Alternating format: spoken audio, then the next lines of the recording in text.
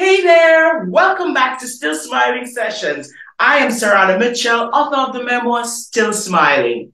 Now, I'm recording this on my veranda, so which means we are surrounded by the sounds of nature. So you hear a dog bark, you might hear birds chirping, a cock crowing, a neighbor screaming, a baby crying, but we're still smiling. Now, Still Smiling takes you on the journey of my life from childhood to now.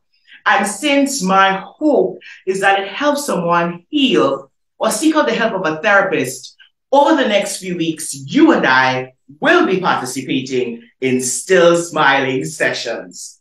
We continue with childhood because, of course, that's the base.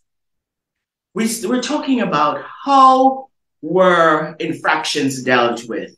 You know, were you exposed to discipline or was it punishment?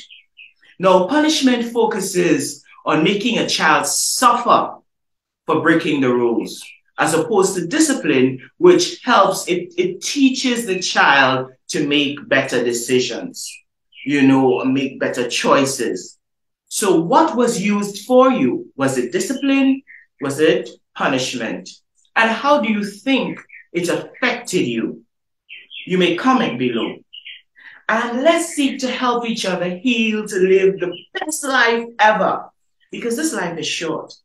And we can't live it, we shouldn't, I should say, live it restrained and heavy burdened from traumas and so on. So let's heal and let's live our lives to the full. So thank you for stopping by. I am Sorana Mitchell and I'm still smiling.